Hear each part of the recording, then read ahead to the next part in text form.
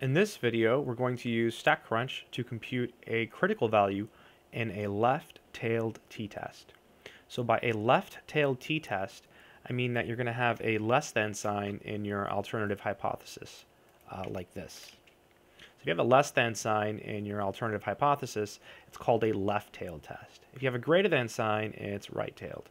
And if it's not equal to, it's called two-tailed. All right, we're going to focus on number four. It says, suppose that in a left-tailed hypothesis test, the test statistic is t equals that and n equals 18, and alpha is 0.10. Compute the critical value using StatCrunch. So to do this, we go to Stat, Calculators, and then we go all the way down to t. Then we left click, and then this box opens up.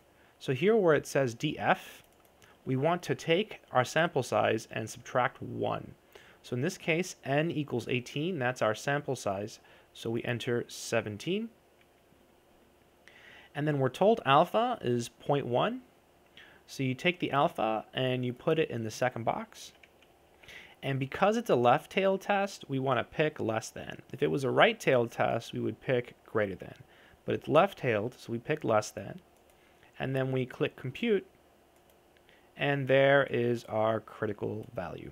I hope that made sense.